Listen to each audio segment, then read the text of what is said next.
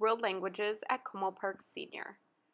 Learning a language other than English gives students a more global perspective and increases opportunities for life after high school.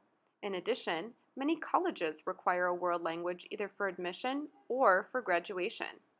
World language students learn through conversation, writing exercises, field trips, and hands on activities. Advanced Placement credit is available for students taking the Advanced Placement Spanish Language and Cultures exam in their fifth year. In addition, French offers an intermediate French course through the University of Minnesota's College in the Schools program.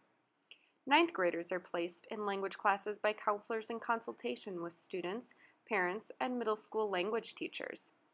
The five C goal areas communication, cultures, connections, comparisons, and communities stress the application of learning a language beyond the instructional setting.